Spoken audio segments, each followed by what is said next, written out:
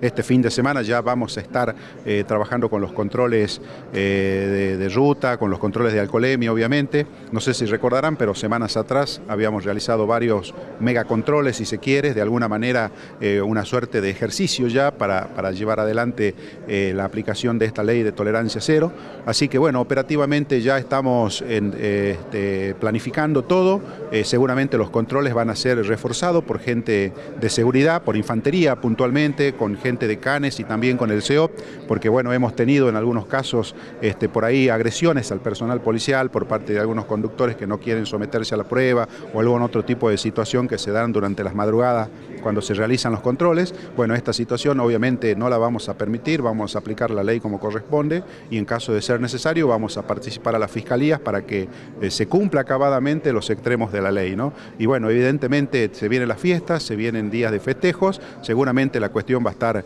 eh, bastante complicada para la, gente que trabaja seguridad vial sobre todo y la, parte operativa de la policía de la provincia, pero bueno, estamos, estamos preparados, estamos conscientes de que es una, una cuestión muy importante para la provincia lo que, lo que acaban de presentar, así que vamos a, vamos a trabajar en consecuencia. Esto estratégicamente va a ir mutando, en algunos momentos serán en horas de la madrugada, esto no quita de que lo, vamos a hacer a la mañana también, bueno, esto se va a ir evaluando operativamente, te repito que esto se trabaja en el Departamento de Operaciones Policiales, donde salen las órdenes y las planificaciones, pero insisto, ¿no? Eh, ya este fin de semana vamos a estar a pleno con la aplicación de la ley.